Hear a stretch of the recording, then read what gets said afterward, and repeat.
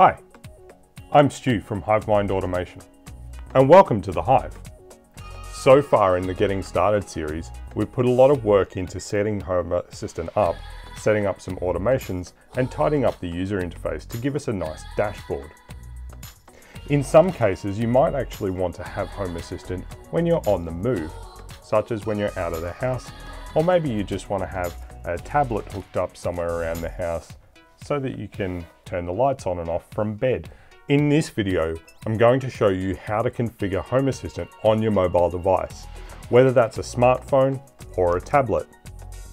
Now I'll be demonstrating this on an iPad and on an iPhone, but there are Android versions of the Home Assistant app as well.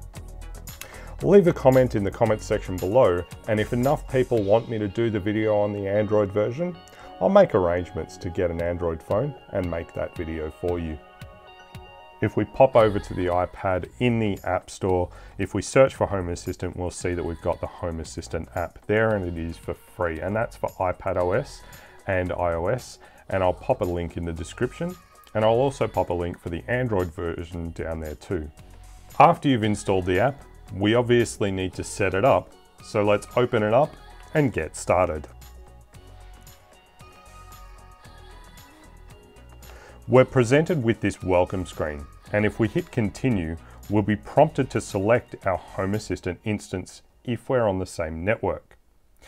If auto discovery doesn't work, we can also hit enter address manually to manually enter the details of our Home Assistant server and get everything configured. In this case, we're going to select Hive Demo, which is the demo instance we created in episode 1 of the Getting Started series. After selecting the instance, we'll need to tap Connect, hit Continue, and we need to authenticate with our username and password. And we'll tap Next.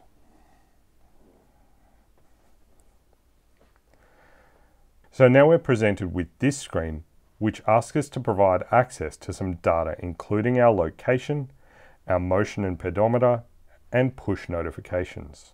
So we'll tap allow on each of those and we'll hit continue.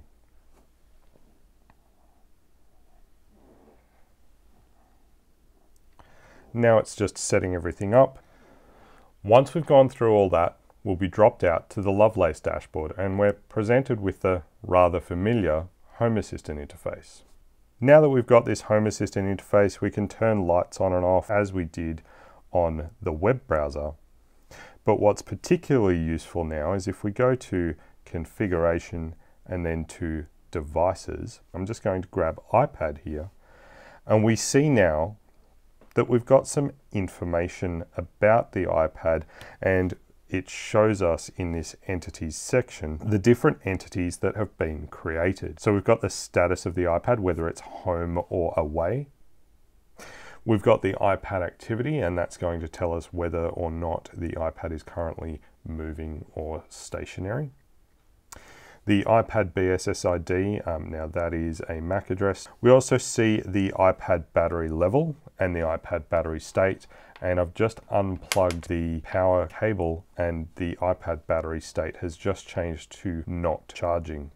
We've got the iPad connection type and that's connected over Wi-Fi and we've also got the iPad geographically coded location. Now again, I'm going to blur that out, but it is pretty accurate. It is based on GPS. iPad last update trigger, that is what caused the iPad to last send an update into Home Assistant. It's showing the SSID that the iPad is connected to. So in this case, we're connected to the Force. And it also shows our iPad storage level. The most useful thing here is probably going to be this first item here where it's got iPad.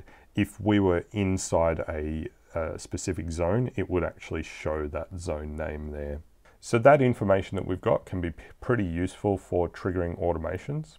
The app itself is particularly useful for turning different things on and off. And in a later video, we'll actually set up a separate dashboard for Home Assistant for this particular iPad and we'll use the iPad as a remote control to turn things on and off in our home. So very quickly, I'm going to show you the same thing on an iPhone. It is exactly the same process. Uh, however, we do get a little bit different data when we do this on an iPhone. So I'm just going to open up the Home Assistant app and I'm going to again use Hive Demo. We're going to hit connect. I'll hit continue and enter my username and password and click next. And we're going to allow access to all of the things on this screen and we'll hit continue. It's going to log in. Again, it's going to show us that Nabu Casa Cloud is not detected. Okay, and we're on the dashboard again. So we'll pop back over to the iPad and see what information we can see about the iPhone. So again, we're going to hit configuration, devices. We're going to search for iPhone and we'll tap on that. And again, we can see that we've got the information. Now we've actually got a bit more information about the iPhone than we did with the iPad. For example, we've got the distance that we've covered today, the number of floors ascended and descended, and we've got details of the SIM cards that are in this phone. This is a dual SIM iPhone, and the number of steps that we've taken today as well. The last thing I'll mention with the mobile app is this app configuration item here. And it slides out some details and there's things like the name and the version that we're on. Uh, we recently updated to 116.1 and there's some really good updates in that. So I would recommend um, running the update. And there's some different settings that we can take a look at. So we've got general, can change our, uh, take a look at our connection, um, and you'll notice that we're only connecting using the uh, IP address. If you were going to be using this on a mobile phone and you were not in your home and connected to the same Wi-Fi, in order to do it, you would need to expose your Home Assistant to the outside world. It is possible to do that through Nabu Casa Cloud, but that's not the topic of the, this video, and we'll take a look at that in a different video. We can see information about our location, whether we've got permission, motion permissions, etc. Whether we're updating on entry and exit to zones. We can choose our update sources, uh, entry and exit of zones.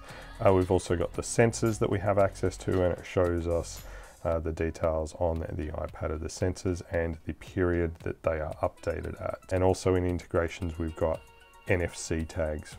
Um, now on the iPhone, the NFC tags, we can read and write an NFC tag and use those NFC tags to uh, trigger automations and do some more presence detection. And uh, last but not least, we've got reset and reset front end cache. Reset is going to reset the whole app back to the very beginning where we started. So that's the Home Assistant mobile app on iOS and iPadOS. I hope this video has helped you out in your home automation journey. If you liked this video, please give it a thumbs up and if you're interested in seeing more home automation content like this, please consider subscribing to the channel uh, and don't forget to share my channel with your friends. Thanks very much for watching. I'm Stu from Hive Mind Automation. I'll see you next time.